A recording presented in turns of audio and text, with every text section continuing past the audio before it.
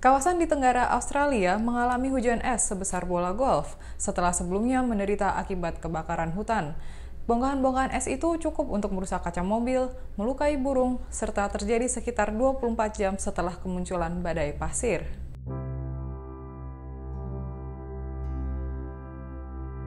Dikutip dari CNN World, hujan es itu dilaporkan mulai turun di Canberra pada Senin sore waktu setempat. Bongkahan itu membuat tanah tampak berwarna putih.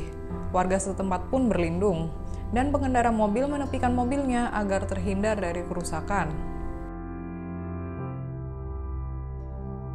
Selain Canberra, hujan itu menerpa Melbourne dengan para pengunjung toko Woolworths harus segera menyelamatkan diri.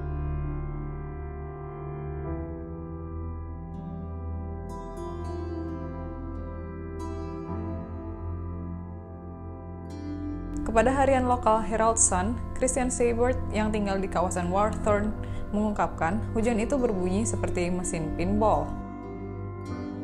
Hujan itu berlangsung sekitar 15 menit, dengan peneliti dari Institut Australia di Canberra, Tom Swan, menyebut bola esnya berukuran 5 cm.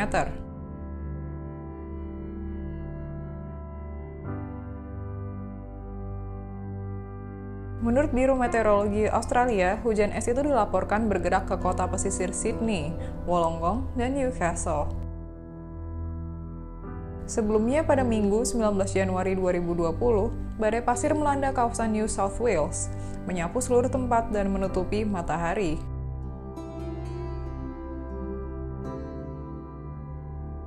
Dua fenomena alam tersebut begitu kontras ketika negeri kanguru dihantam kebakaran hutan yang menghanguskan banyak tempat sejak September lalu.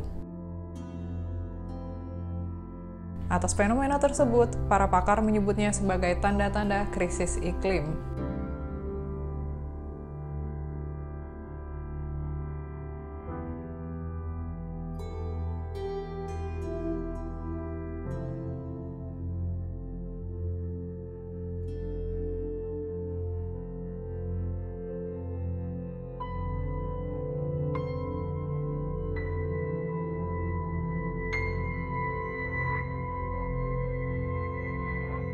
Demikian informasi dari Tribun Jateng Update. Saksikan terus Tribun Jateng Update hanya di channel YouTube Tribun Jateng.